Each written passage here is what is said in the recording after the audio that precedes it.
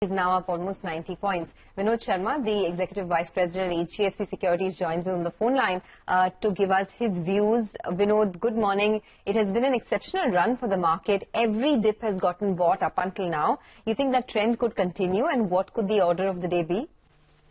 Yeah, good morning, Sonia. I think the trend will continue. However, it's it remains to be seen whether we have a, a great bullish day today or it, it moves on to uh, late buying in Tuesday evening or maybe Wednesday. But we are going to close this settlement with a flourish, that's for sure. Uh, apart from uh, Mitesh, uh, what he has said, I also like Bharti Airtel. Uh, so among the Nifty stocks, I am buying Bharti. I am buying the 490 call at 7.5 with a stop loss at 4 and target of around 15.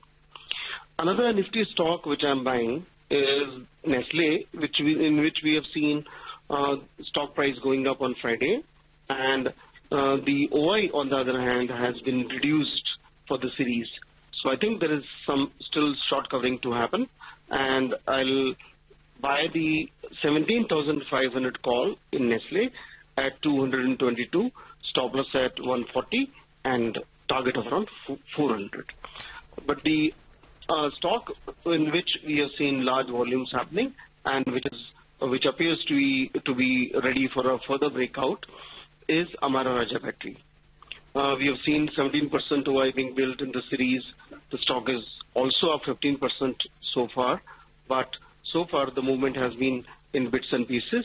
I think the large tower on the charts could be made in the coming days. I am buying the 860 call at 13, stop loss at 8, and target of around 25. Okay, thanks a lot, Vinod, for joining us and giving us your view.